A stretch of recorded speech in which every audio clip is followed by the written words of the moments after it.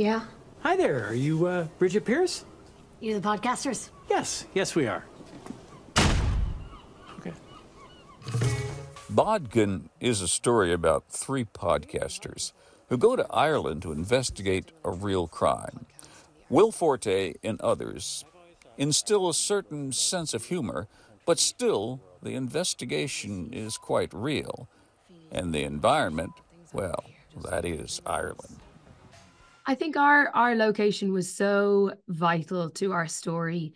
I mean, one of the main threads in our story is about going beyond the sort of picture perfect and an idyllic view of of a place or a person. But I think Ireland and the West Coast kind of is becomes one of the a character in itself in our story. Exactly. Yeah. Um, so it served as kind of the perfect backdrop for Bodkin.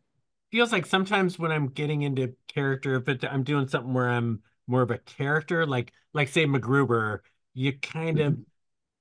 you don't really feel like the character until you put on the dumb mm, outfit Yeah. and have the wig on and then all of a sudden you just carry yourself a different way and in in bodkin there's something about usually it just is the the clothes and the whatever hairstyle and with bodkin it really was the You're putting on the environment. also really Yeah. became Yeah.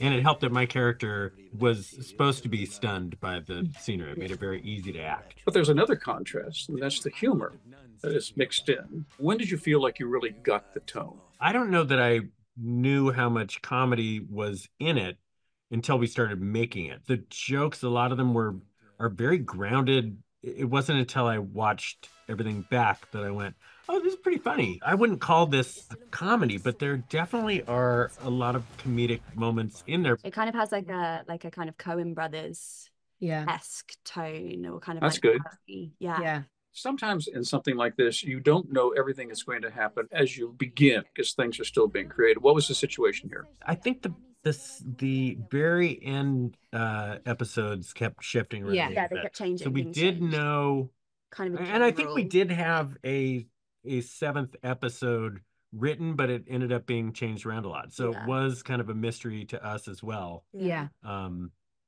but but uh, the, the so first Casablanca, overlay, like no. you, uh, you weren't entirely sure exactly how Yeah. I who think she we was did gonna right time. end up being with and who was going to get on uh, the plane with her. Um, thank you all very much. I appreciate your time. Bye-bye. Thank Thank you you. so much. Flicks with Patrick Stoner explores the craft and culture of filmmaking that enhance our communities for television stations and websites around the country.